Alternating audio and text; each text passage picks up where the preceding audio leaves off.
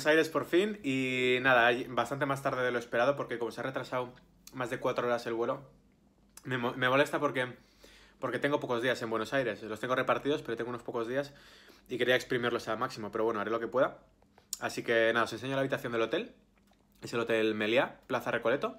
Está bastante cerquita del aeropuerto y la verdad es que tiene muy buena pinta, os lo enseño. Por aquí tenemos la entrada. Aquí es como muy un corte muy clásico. Es ahí con como un diván para dejar la, mi mochila backpacker. Aquí una mesita. La cama, king size, que está bastante bien. Ahí la tele tal. Y, y aquí espejos. Y diréis, John, ¿no falta algo? ¿No falta mm, un baño, por ejemplo? ¿O es compartido? Pues no, no es compartido. Está detrás de este espejo. Si abrís la puerta del espejo... ¡Tarán! Baño. Una ducha que está bastante bien. Y, nada, todo como un corte más clásico. Pero... ¡Good! Así que nada, voy a comer.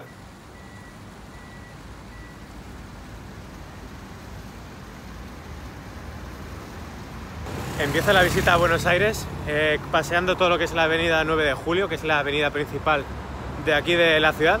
Como veis, todo tráfico aquí a mi lado, pero hay bastantes puntos de interés que iremos encontrando aquí por el camino.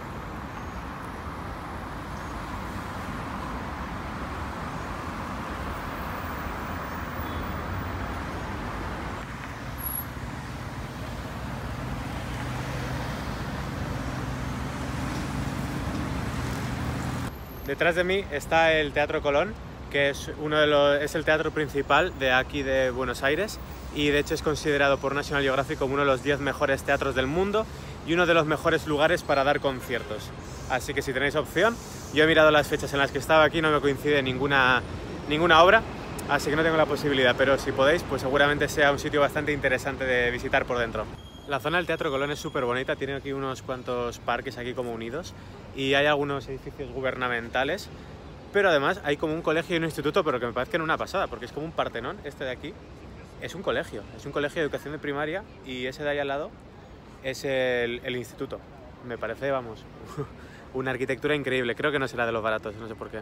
Aquí estoy en mitad de la avenida 9 de Julio y aquí, como veis, está el obelisco de Buenos Aires, que es un sitio muy popular donde la gente suele quedar y fue construida en 1936 para conmemorar el año 400 de que se fundó la ciudad de Buenos Aires por Pedro de Mendoza.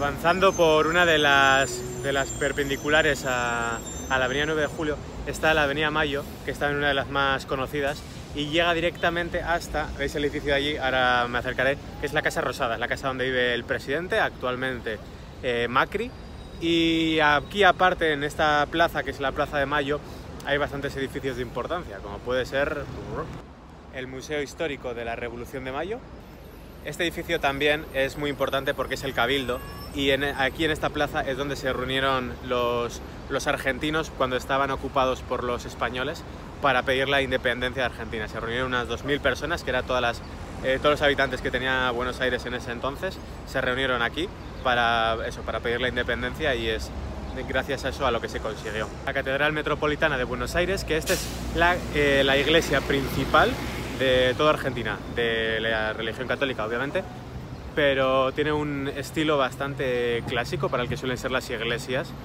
pero aún así curioso, también parece como una especie de Partenón con las columnas. Estoy dentro de la catedral de metropolitana de aquí de Buenos Aires, Eh, por dentro ya sí que parece una, una catedral más normal, no como fuera, que eso tiene el, estilo arquitectónico muy, muy diferente a lo que suelen ser las catedrales. Mm, y es muy importante también porque, por ejemplo, aquí es donde daba misa eh, Jorge Mario Bergo- Bergoglio, que es el actual Papa Francisco. Y mm, entonces, pues es por eso para toda la gente católica este es un sitio muy importante. Además, también para los argentinos es un sitio muy importante porque aquí están enterrados los restos de San Martín, que os sonará si venís a Argentina, veréis que hay por todos lados plazas hechas en su nombre y es porque fue el que liberó de los españoles, tanto a Argentina como a gran parte de los Andes, porque luego se fue a Chile y Perú también y liberó eh, todos estos países de, la tiranía. Así que por eso es una figura muy importante en, estos países y sus restos fueron enterrados en esta catedral. Aquí por donde estoy pasando, que es justo al lado, enfrente de la Casa Rosada, está esta placita que es la Plaza de Mayo, que es donde se llama así porque es el mes en el que se estableció la independencia de Argentina. Y veis en el suelo que hay pintadas como son como unas siluetas de los pañuelos que llevaban las señoras y eso es eh, porque en 1976, si no me equivoco, empezó aquí la, dictadura argentina, la cual fue bastante cruel en la que secuestraban a muchísima gente, la torturaban, la asesinaban. A día de hoy hay mucha gente que sigue sin aparecer y entonces aquí venían las madres de todos los desaparecidos a pedir que, que volvieran sus hijos, que se dijera dónde están. Y a día de hoy se siguen reuniendo de vez en cuando, no sé cada cuánto, pero se siguen reuniendo eh, para reclamar que hay muchas madres que no tienen, no saben dónde están sus hijos y mm, fue, han sido años muy duros aquí en Argentina, sobre todo por eso, porque desaparecía mucha gente de la que no se ha sabido eh, qué ha pasado, no se, sabe si se sabe si están muertos, están vivos. Entonces es como que queda esa, esa parte de la historia de aquí sin cerrar. Y, curiosamente, pues eso, se reunían aquí en esta plaza durante la dictadura eh, todos los días, o prácticamente todos los días, ese grupo de mujeres para reclamar la vuelta a sus hijos y lo hacían eso, enfrente de la Casa Rosada, enfrente de donde vivía el dictador.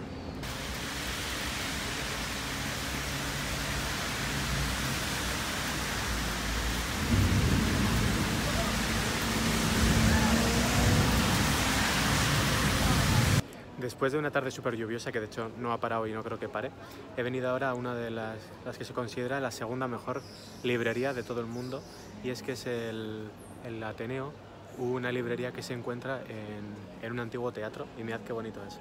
Aquí está lo que es el escenario y todo detrás de mí, todo lo que son los palcos, todo lleno de libros. Increíble, súper chulo. Si os gustan los libros, este es vuestro paraíso.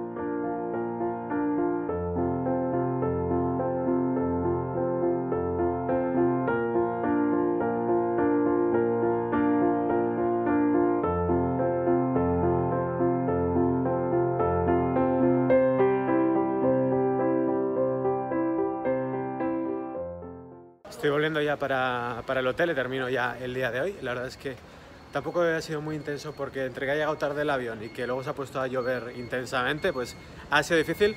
Pero bueno, he visto ya una gran parte del centro y la verdad es que me está gustando.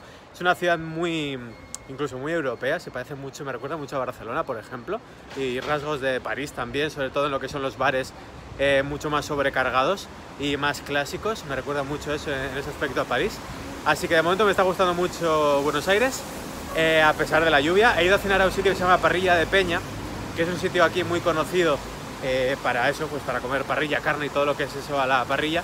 Y está buenísimo, o sea, es que de Argentina todo lo que es carne, uff, ahí con lo que yo soy, con lo carnívoro que soy yo, pues con más razón. Como un, un solomillo, no sé, aquí le ponen mil nombres a las cosas, pero como un solomillo de ternera, no sé qué tipo de corte exacto es, pero está muy bueno. Y luego de postre el clásico que es aquí, que es el flan con, con dulce de leche, que el dulce de leche aquí lo ponen en todo, pero está buenísimo, muy dulce, como el nombre lo dice, y muy eh, y llena muchísimo, pero aún así está súper rico.